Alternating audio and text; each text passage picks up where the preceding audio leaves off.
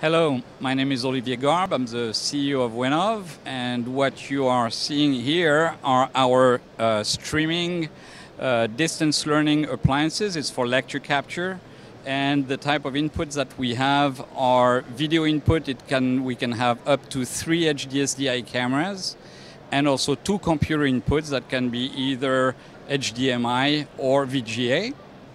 Uh, we have also multiple audio inputs, balanced audio as well as unbalanced audio. The difference between those various systems is just in terms of uh, performance.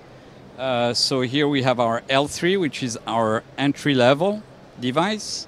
Here we have the S3, which is the next one up, and the S3 Plus, which has uh, the highest capability in terms of doing mixing of videos and can do multiple streams simultaneously. We can also archive while we are doing live streaming.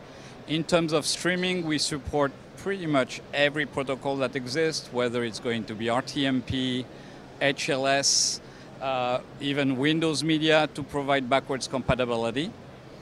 Uh, and, and for more information, uh, you can go to www.winnov.com